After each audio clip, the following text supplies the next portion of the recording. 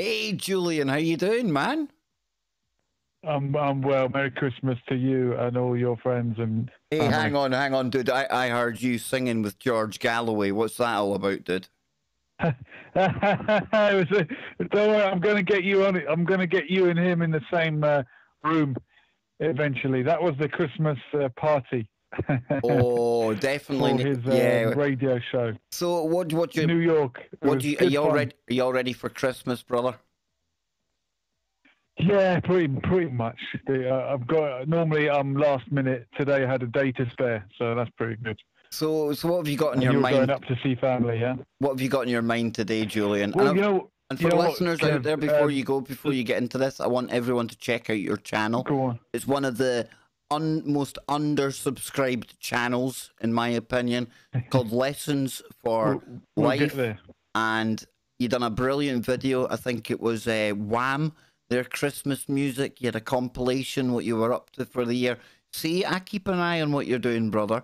Great work. So, Hey, I, I'm very, I'm very touched, Kev, No, that, no. you would be up to date. oh, absolutely, man. So, And, so what are you um, thinking today? What, what do you uh, want to tell You're, everyone? you're very up to date.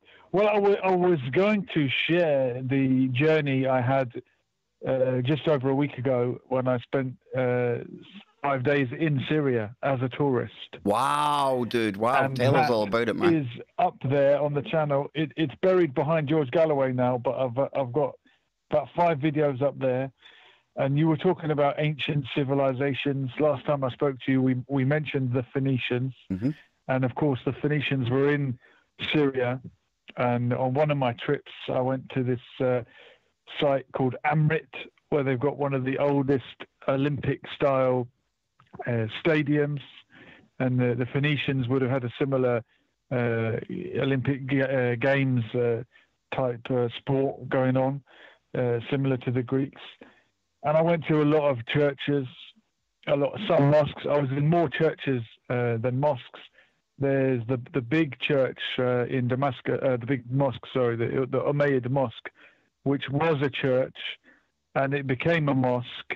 And the head of um, John the Baptist is buried there. And I thought maybe it's it's not good that a church became a mosque. But the guy explained to me that for 40 years, it functioned as both a church and a mosque, and the Christians and, the Muslims shared it until eventually the Muslims bought the the Christian section off them, and the, and the Christians invested in a new building. So it's not all about conquering and you took our building and turned a church into a mosque.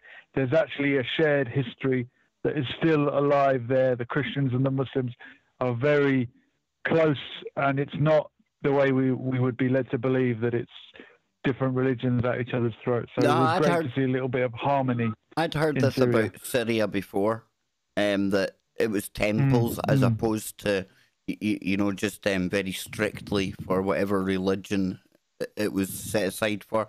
So this is you've been there, you've experienced that, which is great because it's one thing hearing Mm. something on the internet, Julian. You've been there, man, and Yeah. I mentioned the, the the Arab Spring earlier on, and of course Syria. I mean, that, that's a part of Yeah, that. 2011. Yeah. you, you know what? In 2011, I was uh, in the chat. I put Anders Breivik because I remember when that happened because I was in Palestine. I was in the West Bank at the time, and we were hearing all the, about the turmoil in Syria. And when I came back from Palestine, I naively went to a protest outside the Syrian embassy, and I was standing with people saying, uh, you know, we need democracy, because I thought that's what the Arab Spring was about. And I regret that now, because I can see either what it was or what it turned into, which was something from outside. Yeah. It was um It wasn't it was completely it was regime change, but not for the people. It was putting in new puppets for the West to control. Now we're almost out of time. Julian, I'm gonna let you go, but um I'll hit you up on Discord or something. I'd love to get you on for an hour one night and we can get Uh, into all of these topics. Anytime, Kev.